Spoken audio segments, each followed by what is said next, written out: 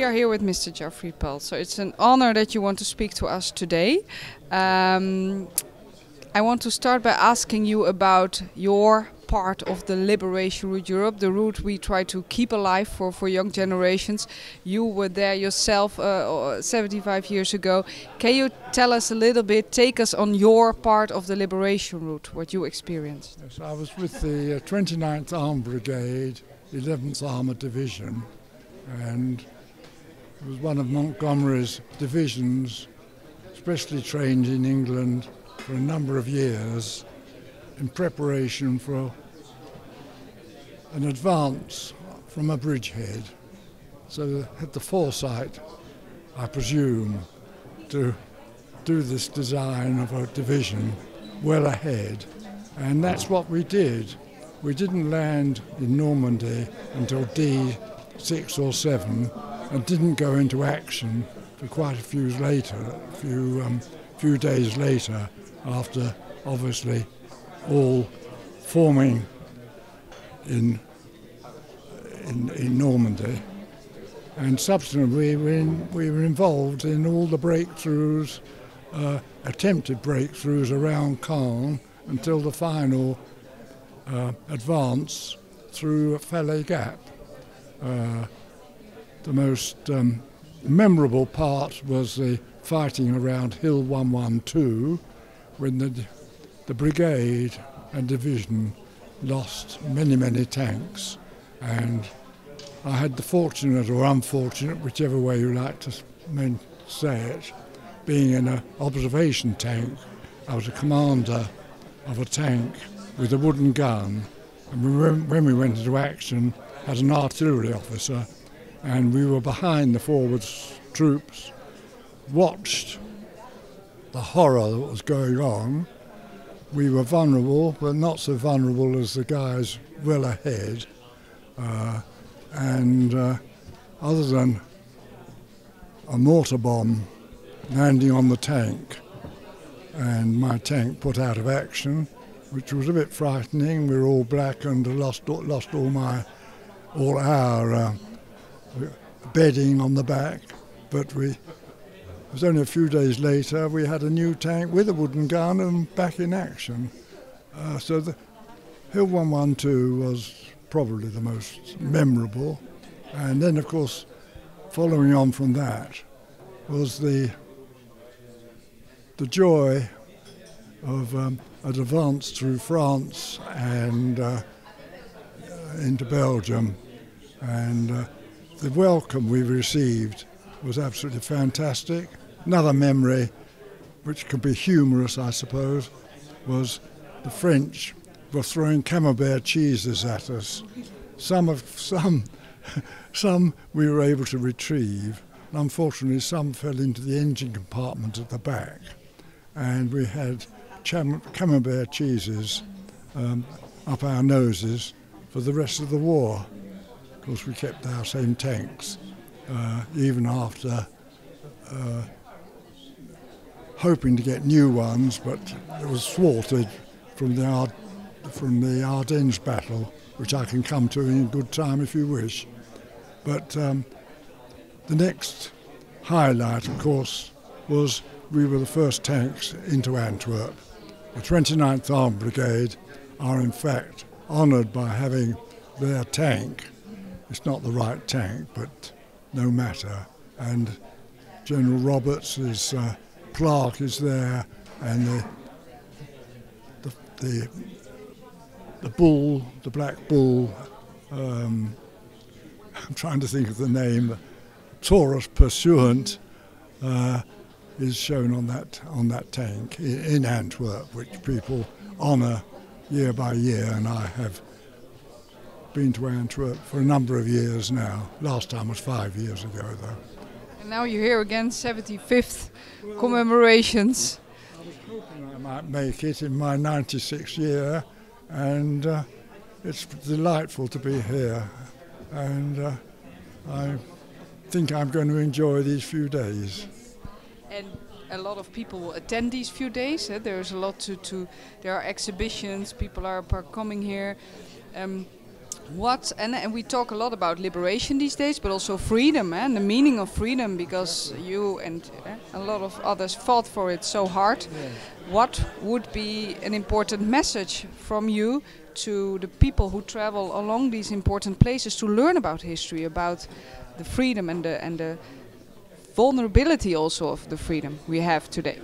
Well my, my education was a good education but I learnt nothing even though my father was in the First World War and had a very honourable time, I never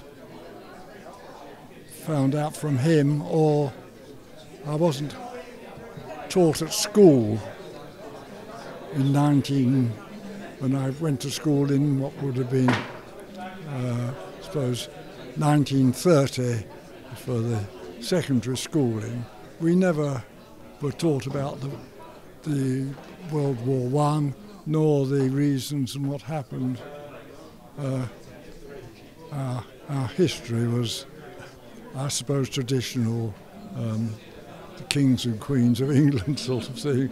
But that was just my education, and my feeling is keep educating the children who, from my experience of these last few years, are wonderful and and uh, most interested and excitable about uh, the, the, history. So uh, keep it going, and I think Normandy is a good example uh, of how to show off their their Second World War history, which is so well signed and and uh, museums. Are, are open air museum Exactly, exactly.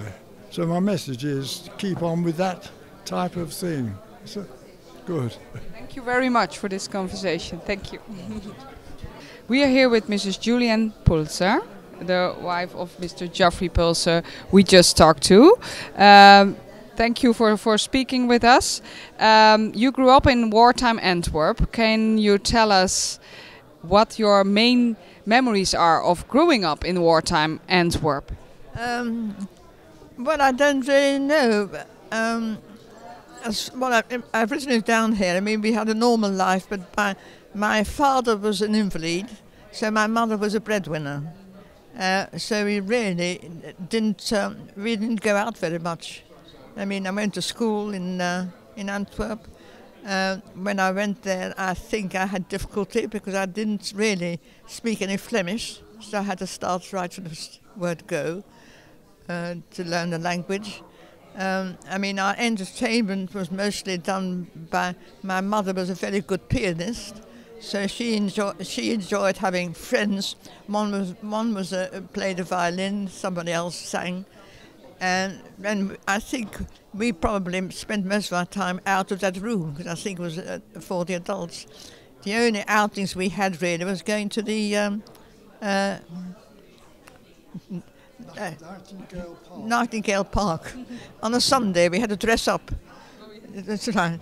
And I mean, I never went to the cinema. Um, we did very little because I say my my mother was a breadwinner. She made all our clothes. I knitted it, um, and. Um, somehow uh, we didn't really notice too much of the. Um, we used to go down the cellar, you know, when they when all the bombs were coming down. Uh, but apart from that, uh, we did very little. And how did you meet Mr. Pulzer? Well, um, when we went to England, I mean, I was then 15, so I, I went to uh, an English school, but I couldn't really uh, follow the curriculum. So I, I went to another school. From there, um, I'm, I'm much better at um, anything mathematic rather than writing or reading. So I did a course on in England you call a comptometer, whereas now it's a computer. And the first job I had, I applied to go to Shell, uh, where Jeff was working, and um, apparently when I worked, walked into the room, he said, "Oh, there's a Belgian girl going to." There were only two girls among about 50 men, I think. And um, at that time, I mean, just as he liberated me, but at that time I had a different boyfriend, when he did his national service, I met Jeff, and that's how we came together.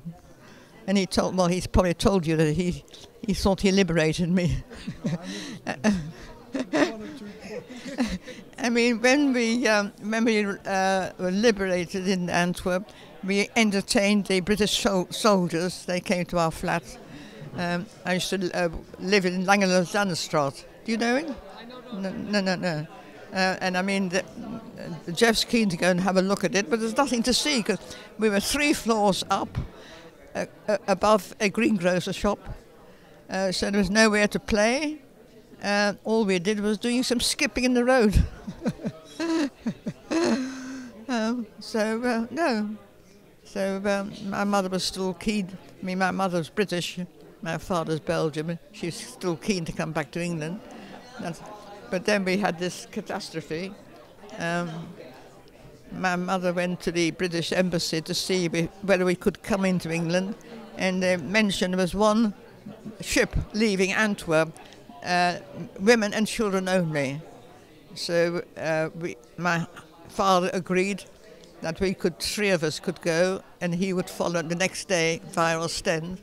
But of course, then we were bombed. The Germans bombed us, and um, we lost lost everything, all our belongings. Uh, my sister, who was 18 months older than myself, uh, wouldn't go into another uh, boat, so we walked in Antwerp to go home until a gentleman picked us up by car and took us home. Uh, originally, the Jews had to sit at the back of the bus, and then eventually they wore uh, like a, a, a pink um, colour hair, and after a few days, you never saw any of them, all taken away. This is our ship uh, when we left Antwerp. I mean, the uh, Germans machine gunned us for a couple of hours, uh, so we all had to. Mother was injured. Uh, injured. Yeah, she's slightly injured because I think one of the staircases broke down, uh, but that was the ship, and we we were all saved by. I think some of the um, crew were trying to get back into the back into the boat to, to release their friends, but my mother insisted on she was rowing the boat for us to get get out of the way. This was the boat.